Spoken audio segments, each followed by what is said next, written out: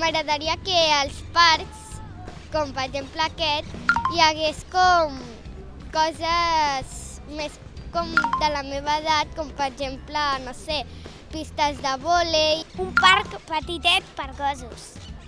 I llavors els pots deixar de la, cor de la corda i ja poden córrer, jugar i fer el que vulguin. Fan les coses sense pensar en ells, sense pensar què és el que necessiten. I per tant hem cregut convenient que en un barri que està en plena transformació, un barri estigmatitzat, un barri que queda com una mica lluny de tot, era molt important que els nens i les nenes comencin a veure que són necessaris, imprescindibles, que, que, que ens diguin el que volen i el que necessiten.